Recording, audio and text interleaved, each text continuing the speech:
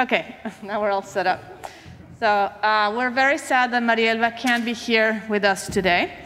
So Maria Fernanda and I are going to read some of the things that Marielva wanted to share with you today. So uh, the beginning of our panel, we wanted to talk a little bit about Venezuela while democracy was still in place and uh, the wealth of Venezuela in the 1960s and the 70s. So Marielva would have said, in the 60s and 70s, Venezuela was the wealthiest country in South America and one of the richest countries in the world because of the expansion of the oil industry. But Venezuela could never find a solution to poverty. Even when the country had large resources and income, we also had a large population who continued to be poor. This meant that although there were very important social achievements throughout the 20th century, such a massive access to education, the improvement of basic services, construction of infrastructure, among other things, there continued to be social inequality that incubated the social, political, and economic crisis that afflicted the country today.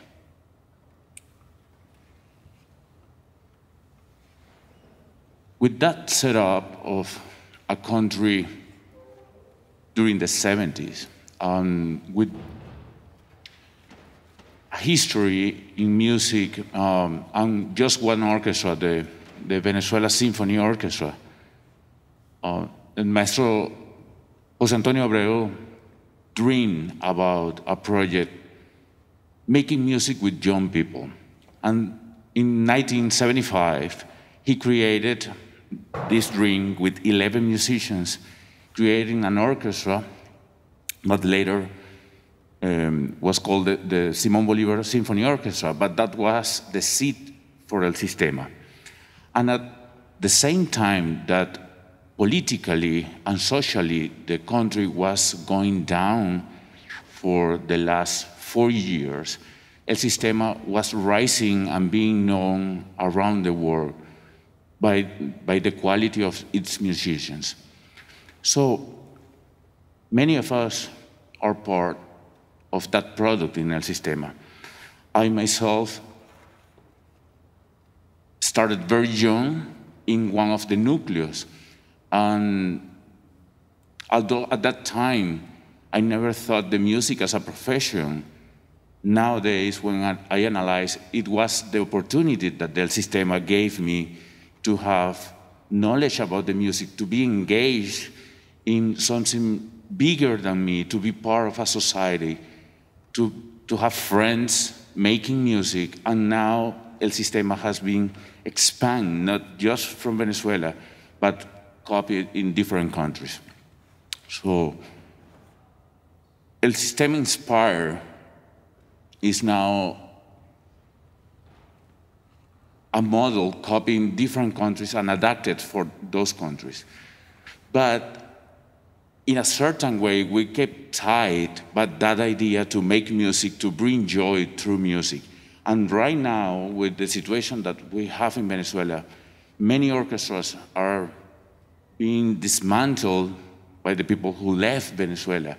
But the idea, the primary idea of El Sistema, is still in the hearts of the young people in Venezuela who goes there just to make music, to forget the social crisis that we are living right now in the country.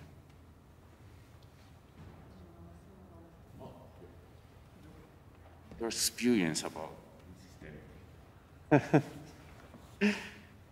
yeah, um, of course, uh, I, I was a student. Uh, I started my, my in music through one of the nucleus. Um, I I started very young, and then as I advanced, at that point in the in the in the in the prehistory when I was younger, the system was not super developed that it, as is it now. I mean, it was very developed, but it's still in the in the uh, in the states of, of, that were farther from the capital. It was not as developed. So I, I needed to after I was more advanced and I didn't have anybody to teach me at my hometown, I needed to uh, travel to Caracas every, every two weeks I took a, bo- a bus that took me, in the best case, 12 hours to get there and 12 hours back uh, for a lesson. So I kept doing that for five years. Uh, then I moved to France, to Europe, and I continued studies there. But one of the core ideas about El Sistema is to receive and then give back. The way you, you know, people say, you know, El Sistema is free, it's free. Well, you know, I don't know. There are different transactions. I mean, it's not everything is about money. I, and I think that at El Sistema we learned that the transaction is to receive and then return in the shape of what you received, which is education. So I had that at, at, my, at the core of my values, and that's why I, I, decided to go back to Venezuela to give back what I had received. And I went back to Venezuela in, after my studies in Europe, and, and I, I, I teamed with my very dear friend here, Simon, a lot of time ago, and we formed a, a branch of the Latin American Academies, the so-called Latin American Academies at, at, the Andean states, the states of the Andes. Uh, we were both directors of that, and we multiplied the students there. I don't know how, they, a thousand percent or more. While we were there, our idea was to give back what we received and so that they didn't have to travel 25 hours to get a lesson for a one hour lesson. So we did that for a few years, but then things got complicated and, and uh, I always also, on the other hand, felt the pull of, of coming to the United States and, and experiencing the culture here. So I, I took advantage of the fact that I had some savings and things and, and, and applied to colleges, and that's when I came to study at the University of Michigan. Uh, so I'm here in this, sitting here in this chair thank, thanks to this institution. Uh, and then uh, my, my original idea was to go back, but unfortunately, it, that didn't happen because things got worse and worse. And, but you know, I, I still, I founded, uh, launched a program here inspired by El Sistema in my time here at Mitchell Elementary School here in Ann Arbor. And, um, and, and I, I, still, I am still in contact with the students from Venezuela. We all do everything that we can to help them there's one student here in Ann Arbor right now that I, I have helped a lot, Adaluz Lowe, who is a very talented cellist. Uh, and I, I plan to do that for, if I was lucky, just to share that love with others. And because that's, that's what was, that was the most valuable idea that El Sistema taught me is that there are transactions that are not about money and uh, more about love and, and generosity. Thank you for sharing that, uh, Horacio. And that is the story of many, many of the students in El Sistema. They learn how to teach, being taught by their professor, but they become monitors for the youngest, youngest generations. And that's part of the academy or El Sistema of teaching there.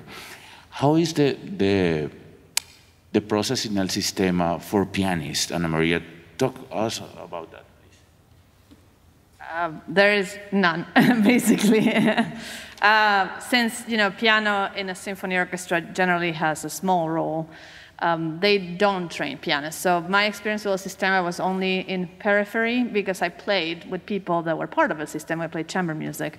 So yeah, my, my journey is very different. And one of the things I liked about this idea of the panel is I think through the journeys of each one of us, uh, you can see different aspects of Venezuelan crisis and economy and um, history. So in, in my case, um, I was looking for opportunities. So I left when the Chavez regime was still pretty early on. It was 2003. So you could still, you could already see that things were going to go south at some point, but Venezuela was still pretty much okay at that time. I was simply looking for opportunities as a musician. I think in Latin America, when we reach a certain point and you're serious about music, you try to go to the States or try to go to Europe for further education. Um, and I was, I was very lucky. One of the, the main points I would like to make with this panel is I think a lot of times um, American faculty members are not aware of how difficult things are for international students here, especially when those students come from poor countries or from Latin America because they get very little support from their, from their families. And I think that's the case for, you know, Horacio, Regulo, Maria, and me. When we came here, we basically on our, on our own. I mean, you were, you were younger when you came, and, it, and Reynaldo will tell you about his story. Uh, but um, it is complicated, and um, I was just very lucky that I had a professor that liked my playing, and she helped me get an assistantship here. But when you're outside of the system, you have no idea how the educational system works, how expensive university is here, and if you have no guidance, it is extremely difficult for a young student from South America to come study here. So I think all of us we're lucky that we found people along our ways that helped us and told us how to navigate those things. And once we were here, people that helped us make a living. And I think, um, as Horacio was saying, uh, we all have a big commitment to try to help very talented students in Latin America to come study here. And not only tell them, okay, come study with me, but also guide them through the process. And once they're here, help them find jobs so they can make a living. Because even if you have an assistantship, a lot of times that's not enough to, if you don't have any support from your family. So um, I was very lucky, as Horacio said, I owe so much to the University of Michigan for all the support that I got here financially and from my mentors and all the things that I learned really changed me as a person, as a musician. Um, it was truly a pivotal moment in my career. And um, it created many of the opportunities that later on would um, help me get to where I am. Um, and for that, I'm extremely grateful. Um, another situation that all of us go through is uh, with our families and our parents. Um, most of these guys' parents are still in Venezuela, and as and Reynaldo was saying, uh, it's always very concerning knowing that your family is there and they might not have water, they might not have electricity, they might not find any food. I used to send food to my mother in boxes. Um, and I used to send her money. And then finally, I convinced her. I think things got so bad that one day she said, I, she fell actually and um, couldn't get up for like three hours and nobody came to help her. And I think that was the, the thing that shook her. And I'm very grateful that I was able to bring her here. And um, we found ourselves in a position of having to help our parents now, which is not ideal, but we all do it happily. Um, and it's part of, of this crisis that has bled into our lives in that regard. Uh, but all of us have found such great opportunities here in this country um, to keep growing as musicians, as educators. Um, and for that, we're very grateful. And we wanted to continue um, talking about current situation in Venezuela and challenges for musicians. And here I quote again words from Marielba.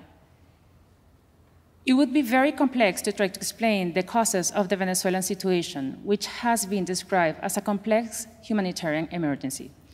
However, it is possible to say that it is not due to a natural catastrophe nor due to war, but rather has its roots in the destruction of democracy.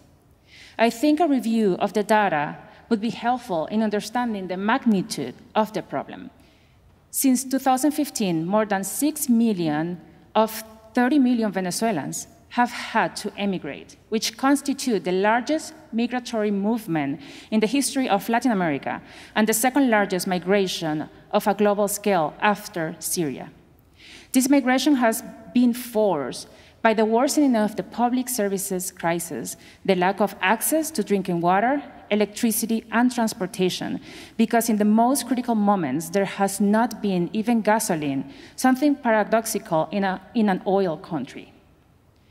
The health system has been dismantled, which has meant the reappearance of epidemics such as malaria, measles, and diphtheria, which decades ago were under control. According to the National Survey of Living Conditions carried out by university researchers to feel the lack of access to official information. More than 94% of Venezuelan households are in poverty, and more than 76% in extreme poverty. Figures from the United Nations indicate that in recent years, a third of the population has suffered from malnutrition. Although a long uh, hyperinflationary period of 49 months recently ended, economic conditions remain critical for most. The minimum wage is approximately 10 bolivares a month, about $2. Venezuela, which had a predominantly young population, was preparing to enjoy a demographic bonus, but with massive migration, especially of young people, that opportunity was lost.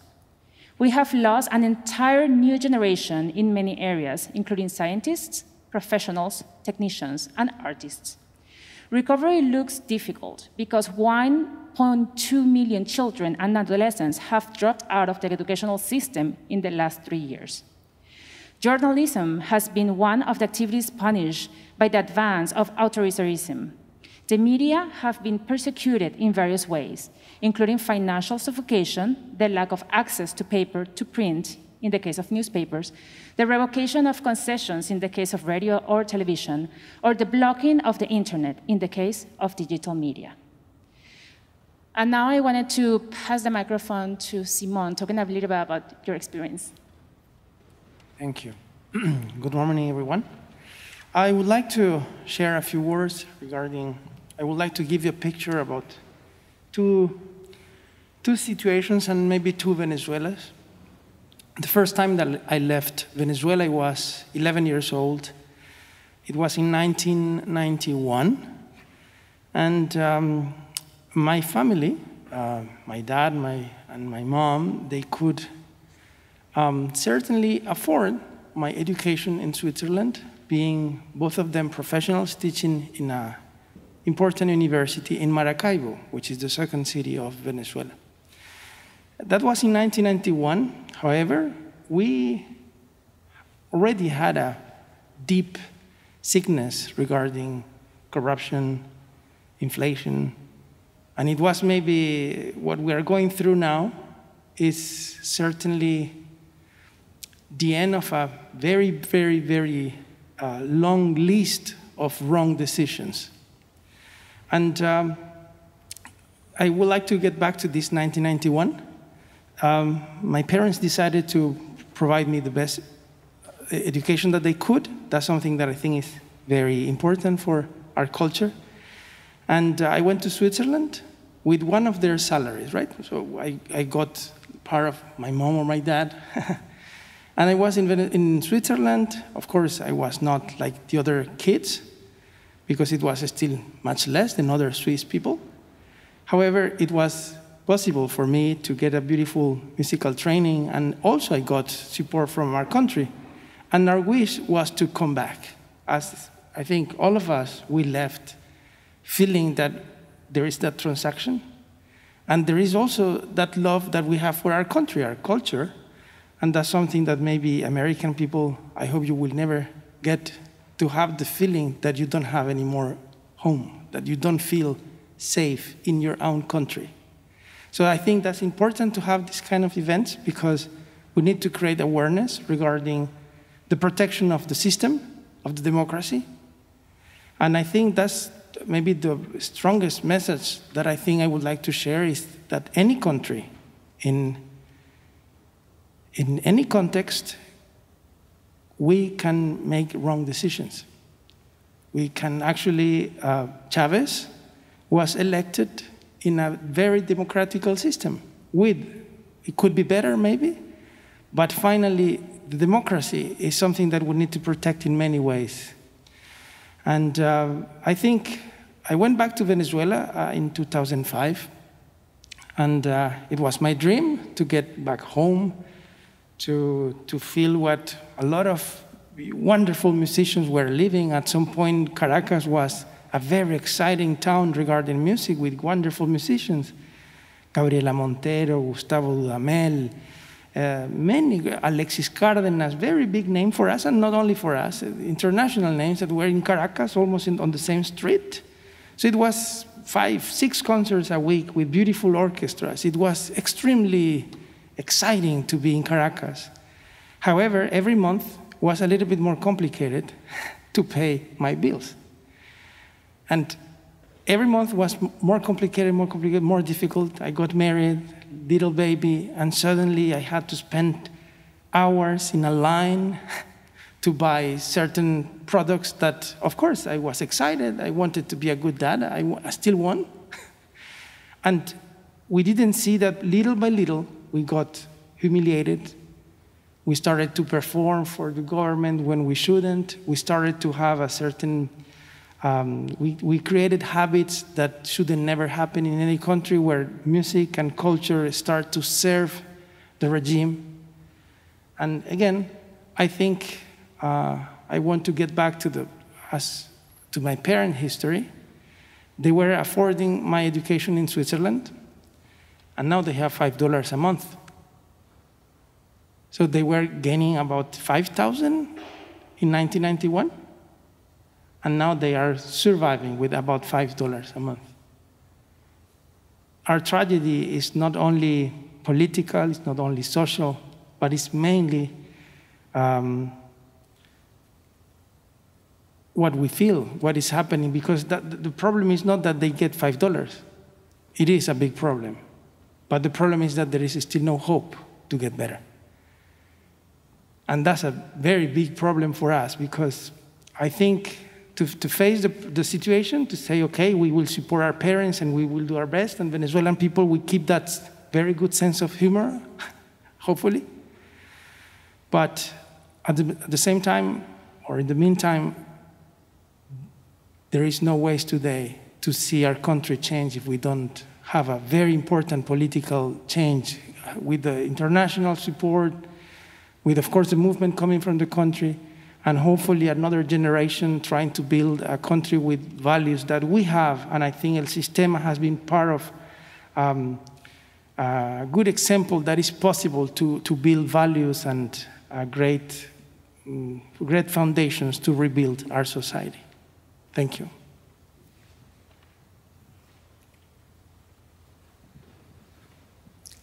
Before I, I talk quickly about what I was going to tell you, I'm, I'm just struck by a couple of the things that I want to just make sure that we actually like say out loud because I think it's a, it's a little bit of the subtext that folks have been kind of alluding to, and I think it's important to just put, put a name to it. One is that we would not be here had it not been for music and just how important when we talk about music making a difference, it is not it is not lies. It's not a it's not a fantasy, it's not overblown, it's not an exaggeration. We are living proof of that. None of us would be here being able to have the kinds of lives that we have had it not been for the gift of music that we were given. So if somebody tells you that music doesn't matter, send them to talk to me or to any of us, and we will set them straight. So that's the one thing. The other thing is just how important it is, and I think Ana Maria, you, you alluded to this, just how important it is to that all of us fell with within the, the help, the reach of somebody here who was able to see the potential and support us and help us and just lend a help, helping hand. And if you are doing that work, we thank you from the bottom of your heart. And it does make a difference. And we would not be here without people on this side of things to have supported us in our journeys through here. We all found a mentor, a teacher, a family member, a friend who was able to, at one point or another, lend a helping hand, fill, filling out forms, getting scholarships, um, navigating the various systems. All of these things are so important. And it, it's such a difficult part of, of the transition. And so, thank you to all of you who have, in one way or another, helped not just us, but anybody who's, who's coming here in, in this situation. I, I want to just briefly um, talk a little bit about my situation, which is a little bit different from my friends here. That I came, I, I came as a teenager, um, and um, to me, the like I mentioned a little bit earlier, that my relationship with, with my Venezuelan identity is, is very complicated, just because uh, I've now lived here for more than half of my life, and that's a that's a strange feeling. I, I, don't know if, if you're an immigrant, when you've spent more time in one place than the place that you call home, that feels strange. There is, there is, there is something that in your brain that kind of goes off. Uh, and like I mentioned before, the birth of my son was something that was to me a, a big trigger for, for, this, um, for these thoughts about my own identity because uh, I was struck by this, this very, very powerful and, and sad and tragic thought that I wanted to share who I am with my son. And I think that's every parent wants to share who they are with their children, right? And I realized that a big part of me I could not share with him or my daughter now. I have a second, you know, and that um, how how difficult it is for me to have to tell my children what what Venezuela is like, and it's not there anymore. There is a place on the map. You could go to Google Maps, you will find Venezuela, but that the Venezuela that we grew up in does not exist anymore. And it is a country that we as Venezuelans have to keep alive in our minds, in our brains, and together. Um, and my work as a composer lately has been really focused on trying to keep this flame alive, trying to, in some way, create not a fictional country, it's a very real country that exists in our hearts. And I know that sounds cheesy, but it is not. Our country has been taken away from us. I cannot take my children to my country and show them here's where I grew up, here's my teacher, here's that little stand where I used to get my, my ice cream on Sunday afternoons. This is where my dad took me to the movies. I can't share that. So it's all of these things are things that we have that you have to dig into the deep recesses of your memory to try to keep it alive and then you're hoping that through creating opportunities for my children to interact with other Venezuelans and my family, that we can somehow keep this Venezuelanness alive. And it is very difficult. The last thing I'll share about this is that um, there is a kind of a, a dual um, um, perspective on this. Like, on, on the one hand, there is the, the, the, the deep and, and powerful tragedy of the six million Venezuelans that have left the, the country, but there's also the fact that now we have six million Venezuelans all over the world, and that, our, that the world will get to know who we are and our culture, and that we'll get to plant little roots, and my children will be a part of that, of that process because they will grow up being Venezuela in their own way, and they're going to have to figure out what that means in, on their own terms. And um, so, but, but there, there, there will always be a sadness in that. And the, the, the, last, the last thing I'll, I'll, I'll say is just kind of having experienced the holidays recently, just kind of like Venezuelan holidays now are experienced through WhatsApp. Like every, there is no such thing as a family Christmas or family birthday or anything. Everything is, is mediated through screens because that is how the families have stayed together. And we're thankful that we at least have the technology to be able to do that but it is now a part of what it means to be a Venezuelan and what it means to be a Venezuelan family. I have family in five countries. I'm in the United States. I have a brother in Canada, another brother in Spain, and my mom is in Colombia, and my dad's in Venezuela. And this is, this is just what being a Venezuelan means. You have people all over the world. And there is sadness and a deep wound that comes from that, but there's also a sense of, of beauty of, of the next generation, of what it means for our music and our culture and our food and our language to now be a, a little part of everywhere in the world. And at least we can try to look um, and find something positive to say about that. So thank you. And to wrap up, I wanted to focus on the positive part that Reynaldo just mentioned, and also on the idea of the transaction that we all feel that need as Horacio said, of we were given education and mentoring and guidance, and that's what we feel uh, we were raised to also give back. And I wanted to talk a little bit about my story very, very briefly and focus on something very special that we were able to create as Venezuelans that want to give back and be part of that generation that is um, part of raising awareness and letting people know of our culture. So I um, came here to the United States to study here at the University of Michigan. I did my undergraduate here. Um, and after that, I did my master's at the University of Miami and decided that I was missing my culture. So I went back to Mexico at that time. I got a job teaching in a conservatory there. Lived there for three years, had a great time. And I remember one time there, I said, um, I'm going to do a recital of Latin American works only. This was around 2006. So I contacted my flute teacher and some composers I knew had written works for flute. And through email, I did not get back one answer. I was not able to find works. I was not able to do any of that. And I was wondering, how, how can I do this? Why don't we have a resource or a tool where we can find this information, not only for us Venezuelans or Latin Americans that want to do this, but someone that is in a different place in the world. If they want to know this repertoire and this music, what can we do? So after three years living in Mexico, I realized of the richness that the musical world had in Venezuela.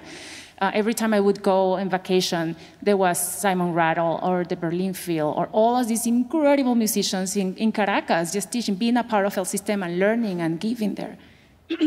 so I decided I shouldn't be in Mexico anymore. Let's go back to Venezuela. I was given a job to teach in El Sistema. Um, I was also teaching in a high school where I studied.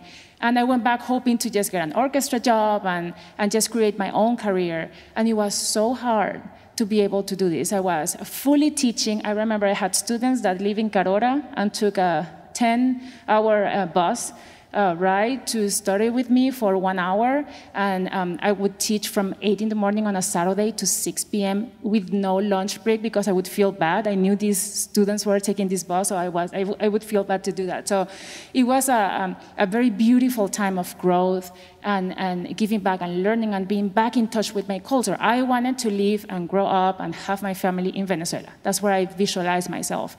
And after four years, I was finally able to get a job in an orchestra in the Orquesta Municipal de Caracas. And I was, this was a dream, just teaching live and orchestra live. And in the orchestra, I was able to perform a lot of the repertoire by Venezuelan composers and Latin American composers. And my experience with this, I was given this uh, sheet of music that was the copy of the copy of the copy of the manuscript. I could not read a note. I, for me, it was so hard to understand this. And I turned to the oboe player, and I'm like, uh, "Can you read this?" Of course, this is Carreño. Everybody knows the calligraphy. Everybody knows this, and I mean, everybody knows that this is the way that we read the music from Latin American or Venezuelan composers. And I felt bad. I'm like, okay, I need to learn how to read this music. And I took my pencil and tried to help myself be able to read the notes. So after six years in Venezuela, trying to create a family, my husband is is Regulo. We were trying to just get our own apartment and grow, and we just couldn't do it. Uh, with three work, three jobs, Regulo is also a lawyer. We did so much, and we just couldn't couldn't make ends meet. So we decided to leave, and we came back to the United States, both of us, to study. Uh, and we're so grateful for education and academy because it allowed us to grow, to, to expand our minds, no matter what age we are or our experience. And we were able to end up here at the University of Michigan, where I did a specialist degree and a doctorate degree. Regulo did his master's and doctorate degree. And we couldn't be more fortunate to have arrived here and to have the incredible mentors we had, to have the ideas and the guidance that we had, and being in this institution. And being here, we realized, well, how can we give back? How can we solve this problem? And then we started to think, how about doing editions of that music that we just couldn't read. At that time, we were performing Porgy and Bess with USO, the, eh, the, edit, the reading of the critical edition with the Gershwin Initiative and Professor Mark Clague, and we were like, we should do that. That's what we need to do. So we started to get all of these ideas. And LAMI became, we created LAMI, the Latin American Music Initiative, an organization with the mission to change the anonymity of Latin American composers and the invisibility of their works. We divided LAMI in three branches. One that was focused is called ALMA, Spanish for Soul, focused on creating editions and publishing this music for everyone to find. The second branch is called um, uh, Ofrenda, present, uh, which is our production branch. We do concerts and recordings so people could hear this music. And Siembra, our educational branch, which is um, Spanish for to plant or to sow. And this is where we are giving uh, residencies and we have a, a, Latin American Music Festival that we had virtually in July. And where we want to be able to do this, or not only just play the music, but understand the background and the context. And we really could not do that without the idea of transaction, giving back, taking some control over our lives, and especially with the help of allies, mentors that were there for us, uh, of institutions that are able to give grants like Excel, the Excel grant. We want different grants with them that were able to allow us to develop this. We are extremely thankful for all of you to be here, to the professors at the University of Michigan, to Pamela for putting this together and creating this space for us to talk a little bit about this and to share our music. To Professor Mark Clague, you have been our mentor, and I think to many of us in different ways of creating and expanding our vision and taking agency and caring about what we care about, and we're so thankful to you, uh, Ken Fischer. You have been such an inspiration to many of us with your one credit mini course. You are just incredible, and we really, really appreciate everything you do for us. And this is what we got here when we came to the University of Michigan, and all of us that are here, and we're deeply thankful. Thank you so much.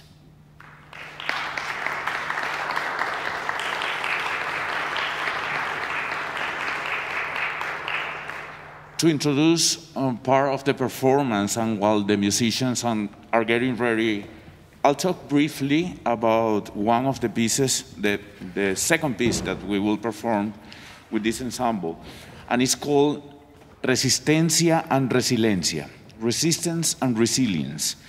Uh, it's uh, work by my former teacher, Alfredo Rugeles, and was part of uh,